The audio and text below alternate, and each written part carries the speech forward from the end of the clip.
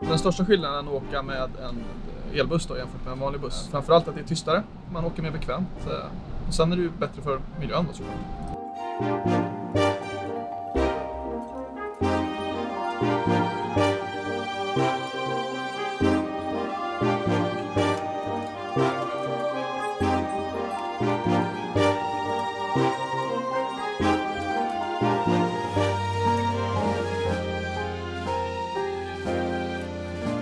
Den går 100% på elektricitet. Det är supermiljövänlig. Och sen är den mjuk och tyst. Inga buller. Och sen efter en arbetspass så, så är man inte så trött som man brukar vara.